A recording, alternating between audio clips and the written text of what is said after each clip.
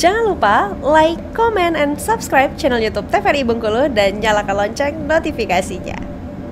Saudara Wakil Bupati Kepahyang bersama pasangannya Hafiz diusung masyarakat Kepahyang mendaftar sebagai calon kepala daerah ke KPU Kepahyang.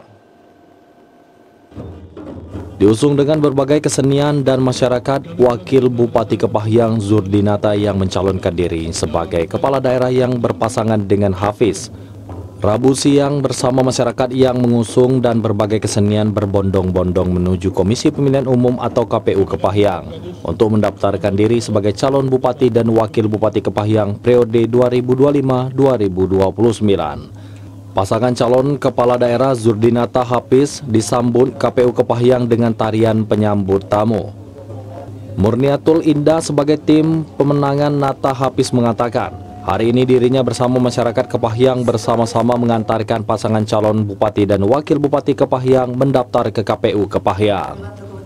Tadi mulai dari sarapan sarapan anam, bujang hmm. datu kudo kepang, hmm. pokoknya semua unsur masyarakat. Oh, termasuk masyarakat mendukung ya, juga ya hadirnya dalam suksesnya hmm. acara pendaftaran ini. Hmm. Diketahui masyarakat yang mengusung pasangan Cakada Nata Hafiz terlihat rela menunggu pasangan sampai selesai di luar gedung KPU Kepahyang.